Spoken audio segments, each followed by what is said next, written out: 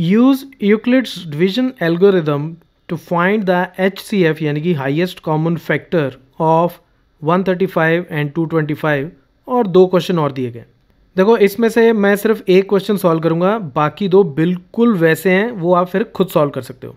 देखो Euclid's division algorithm मैंने पहले भी बहुत बार समझाया आपको कि इसको यूज़ करके हम हाईएस्ट कॉमन फैक्टर निकालते हैं, और उसको करने के लिए आप पहले रफ वर्क में कुछ स्टेप्स जो हैं, उनको पहले लिख लो, उससे फिर आपको एक्चुअल सम लिखने में बड़ी आसानी होगी। करना क्या है आपको कि जो दो नंबर आपको गिवन है, उनमें से जो बड़ा नंबर है, जो बड़ा नंबर है, उसको आप छोटे नंबर से डिवाइड कर दो। ठीक है? तो 135 तो ये वन पे ही जाएगा 135 और यहाँ बच गया मेरे पास ज़ीरो एंड नाइन नाइन्टी बच गया। अब 90 जो है, जो रिमाइंडर बचा वो आपके डिवाइज़र से छोटा हो गया। जैसे ही आपका रिमाइंडर डिवाइज़र से छोटा होता है तो आप इस रिमाइंडर से डिवाइज़र को डिवाइड कर दो। ठीक है? तो 135 थर्टी फाइव यहाँ आ गया, ये फिर से वन पे जाएगा 90 तो ये मेरे पास कितना बच गया यहाँ पे? 5 एंड 4 अगेन 45 जो है वो 90 से छोटा हो गया। ठीक है? तो अब मैं इससे 90 को डिवाइड कर दूँगा तो ये 2 पे जाएगा 90 और नीचे मेरे पास कुछ नहीं बचा, कट गया पूरा।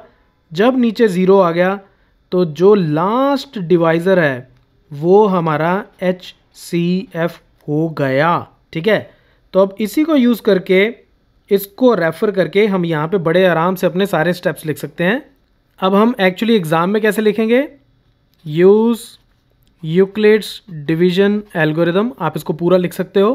तो इसको रेफ़र करो आप। 225 twenty five is equal to one thirty five into one plus ninety two twenty five is equal to this into this plus ninety ठीक है?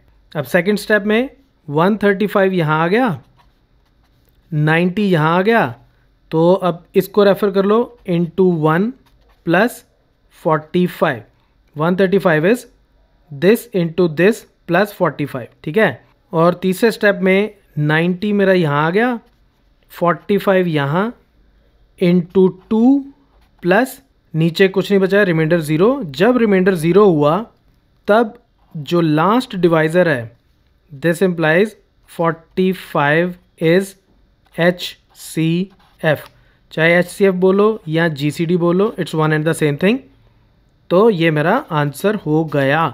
अब इसी तरह से आप ये दोनों सम खुद सॉल्व कर सकते हो।